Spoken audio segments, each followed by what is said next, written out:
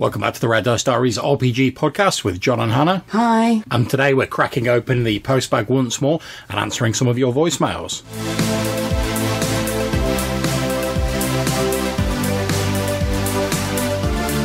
And our first message is from my old mate Rob Davis, aka The Swamper, and he's got a few things to say about our recent Froghemoth episode. So take it away, Rob. Just listen to your uh, podcast on the Froghemoth. Uh, one will probably be appearing in my game tonight.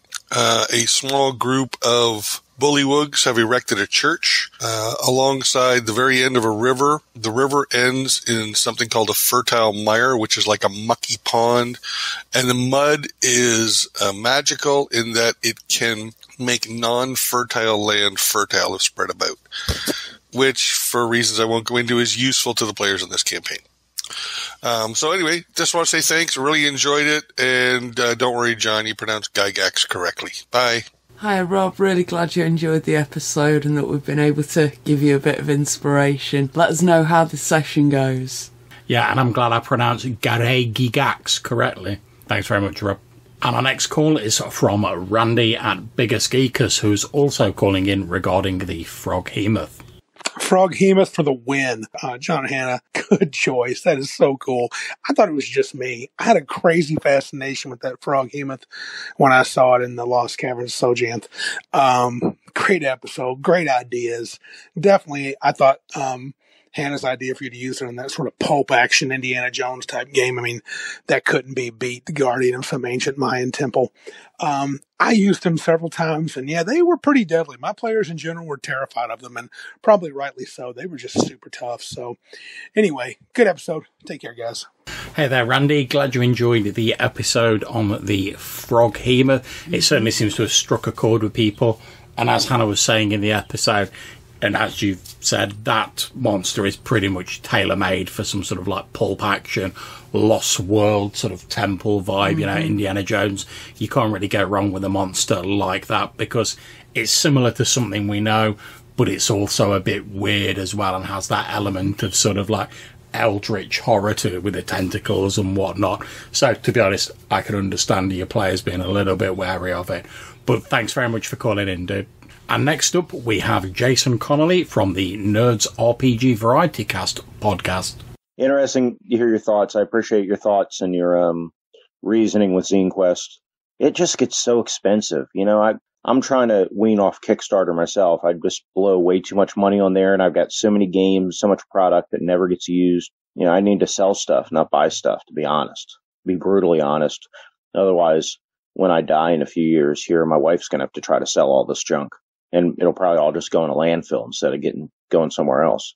But it's hard, you know. I was looking, and even a cursory look, if I picked up some of the things that interest me, you know, that really interest me, uh, you know, I'm easily in the two hundred dollar range for printed zines, and even without printing them, I'm still going to end up like one hundred and thirty dollars. It's crazy. Um, and some of these you definitely want printed, you know. Um, so yeah, I don't know. I'm not sure what I'm going to do yet. I really don't have the money to put towards it, but I really don't want to miss out, which is the insidious thing with Kickstarter. And a lot of these things, especially these are so RPGs aren't typically as bad because RPGs normally will also eventually show up on DriveThruRPG.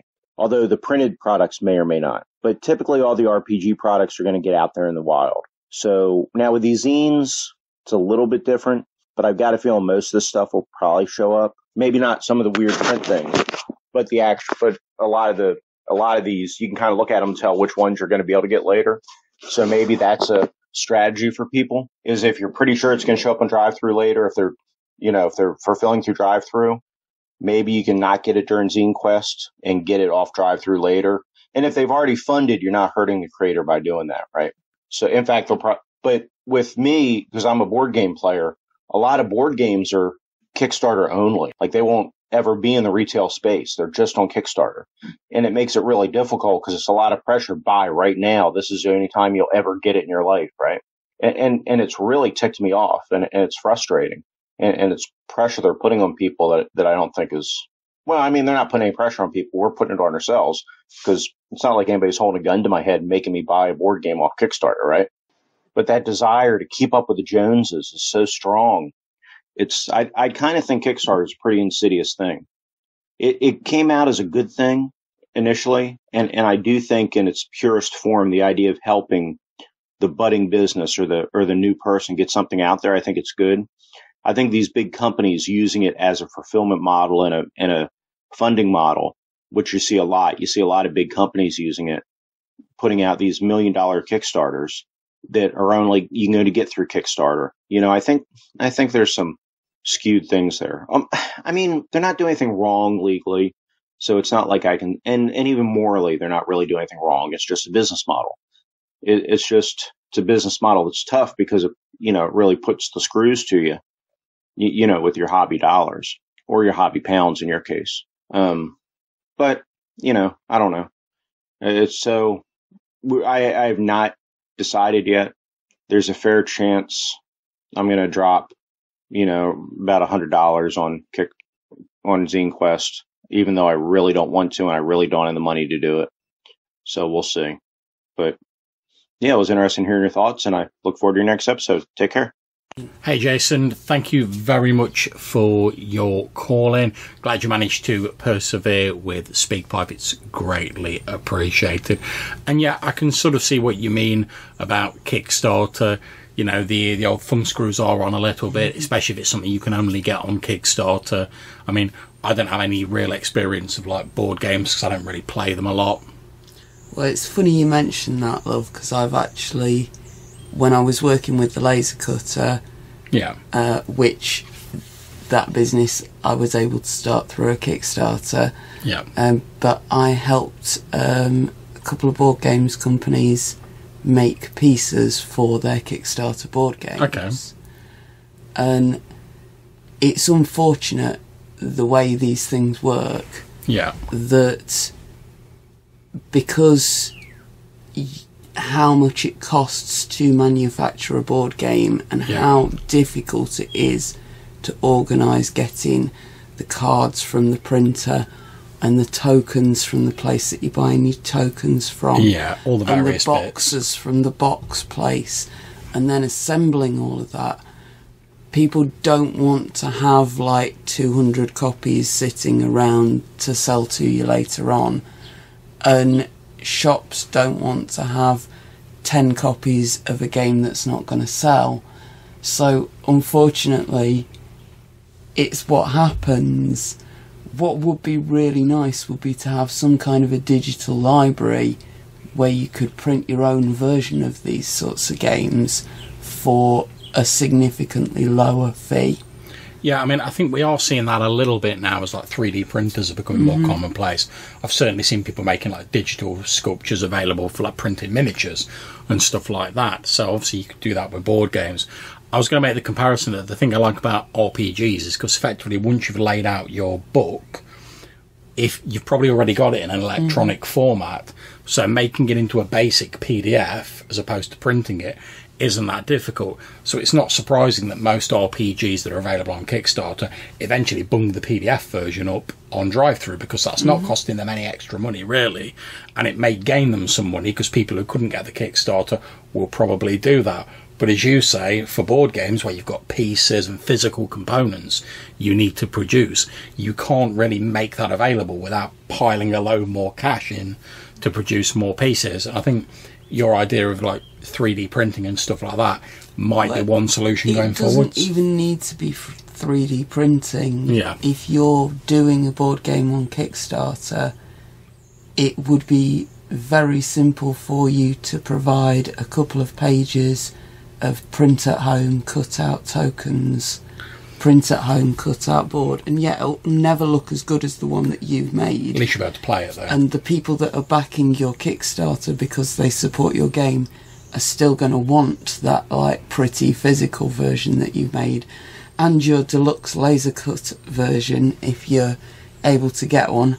I'm afraid I don't do that anymore. Um, but it'd be nice to have that Stingy Gamer edition that you can give someone like a pound or 50 pence and be able to still play the game, still support the thing that they've made.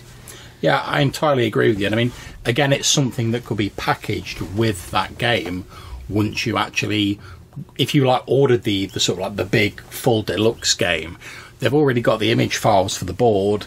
They've prob- they could probably make some image files for like little tokens that you could print out. So it'd be nice with like a lot of these RPGs when you buy like a physical copy, you get the PDF with them as well. So if they could do something like that, like you say, the PDF version would in no way invalidate the sort of full deluxe version. It wouldn't be as good or pretty, but at least you could still play it and it wouldn't just disappear.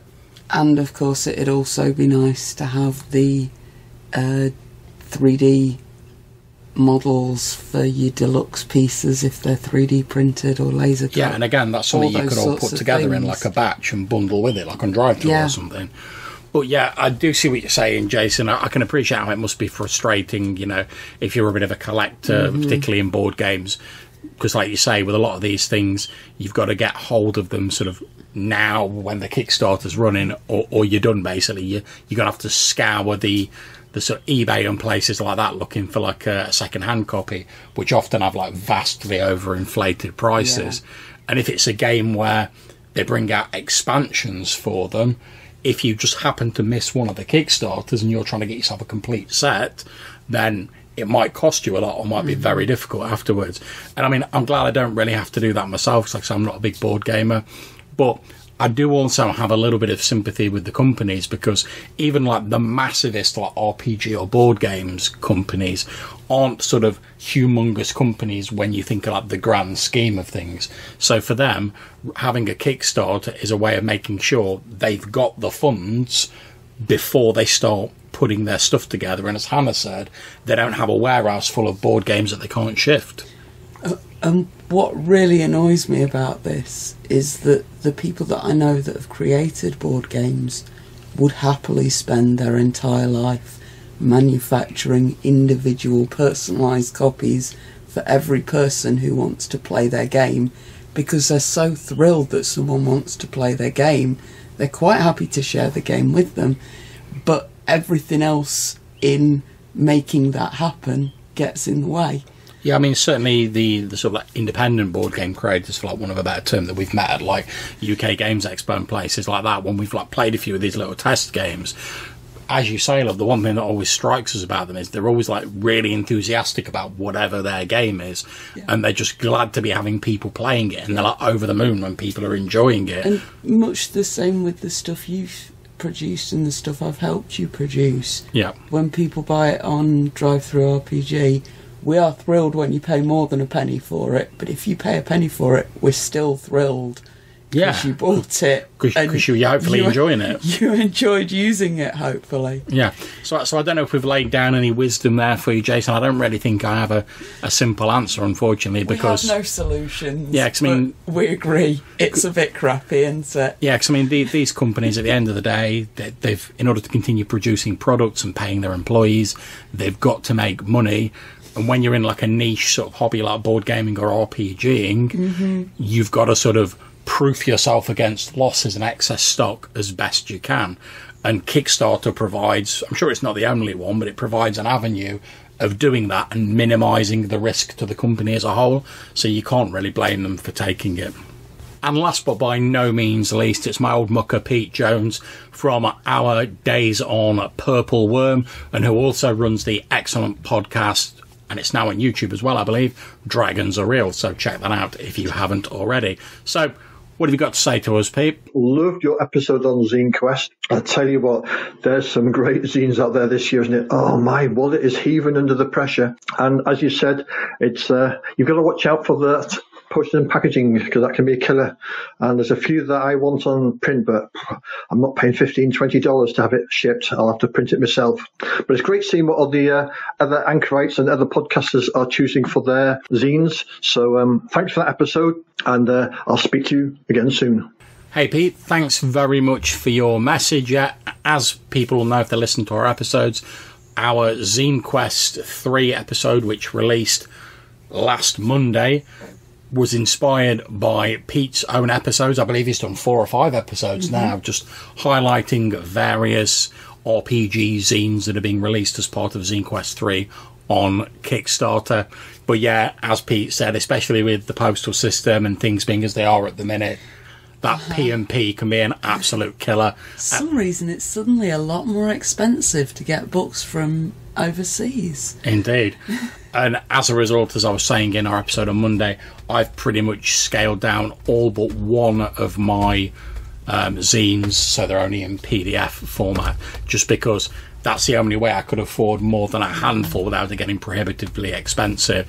And as Jason was saying in his earlier call, mm-hmm. I ain't got a couple of hundred like dollars or pounds or whatever, whatever your yeah. poison is, to drop on zines. But I do still want to support people who are releasing stuff, mainly for OSR games in my case, because that that's my wheelhouse. But I do still want to support those people who are doing things like that. And as we were saying about the board games, who are passionate about the stuff they're releasing. So even if I'm only chipping a few quid to each one for a PDF, at least I'm still sort of throwing my hat in the ring and showing my support. And I'll get some mm-hmm. cool content at the end of it. And as Pete was rightly saying, because they're zines and they're only fairly small as mandated by the sort of like the Kickstarter criteria for Zine Quest, I can always print them out, or I can go on Lulu or something like that, print them out, or I can use my home laser printer to do that, and it'll probably save me a bit of money, or at least I can just print them out eventually. I don't have to lump all that money down in one big lump sum, especially not when I'm going to be paying mm. almost as much again, or sometimes more for the P&P as I'd be paying for the actual zine. Yeah. And I love supporting people who are doing content, but I don't like throwing my money away for like ridiculous P&P. It's a real shame. Yeah. I mean, luckily last year I was able before before the the price hikes I was able to back sort of like four or five in physical, mm. and it wasn't too ridiculous.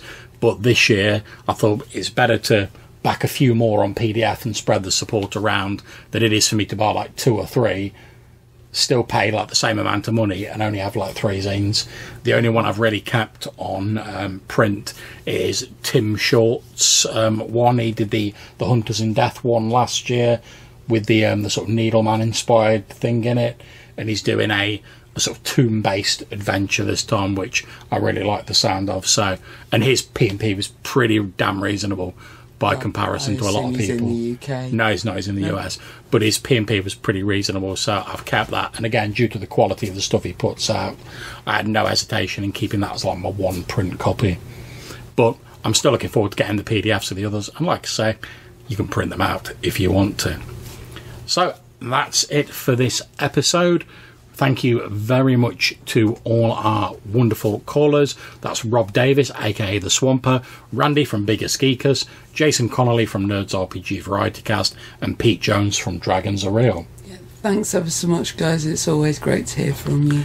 And if you would like to get in touch with us and maybe be featured in a future voicemail episode, maybe you want to suggest something for a future episode that you'd like to see, comment on an episode we've already done, tell us a funny story about your gaming group, or just have a general chat. There's a couple of ways you can do that. You can leave us a voicemail message on SpeakPipe. There'll be a link in the description of this show. Or you can send us an email to rddrpgpodcast at gmail.com. Until we speak to you again, take care and whatever you're playing, stay safe and have fun. Bye.